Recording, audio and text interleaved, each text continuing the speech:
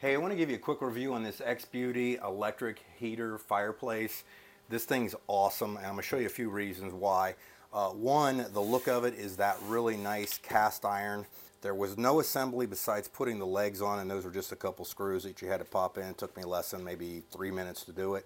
What's nice is you do have a remote control that can uh, do everything on here, as well as you've got your controls right here in the settings. Now, this is just, this is not hot, this does not go warm up, and this is kind of like a virtual screen, so you can kind of see it, but it looks like a real flame.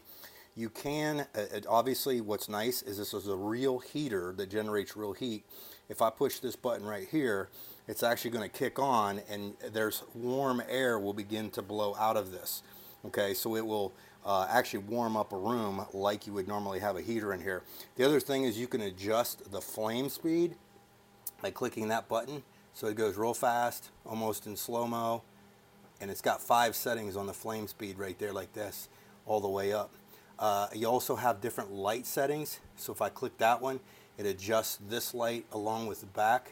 And the more times I push it, it goes to that, goes to that, goes to that, goes to that. And then this one over here, all red, and it turns blue. How cool is the blue? So we're gonna leave the blue on here.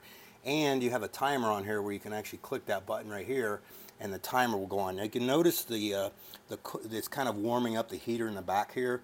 One of the nice things though is it does have a safety feature on here that if it gets too warm, it'll just automatically shut off and cool itself down, which is kind of nice.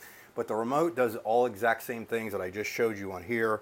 Uh, you can, again, you can change whatever color you want on the uh, flames based on the different things that you put in here. I think that's the one I wanted. So there's multiple combinations that you could do with your flames uh, to make it look as natural, as warm as you wanted, that kind of thing. And again, it does kick out pretty good heat, slow it down. But if you're looking for something, uh, nice glass doors, looks amazing, very quiet by the way, so it's nice and quiet. Uh, would look good in just about every any room you'd uh, pick it up for. Go pick this up, you're gonna absolutely love it.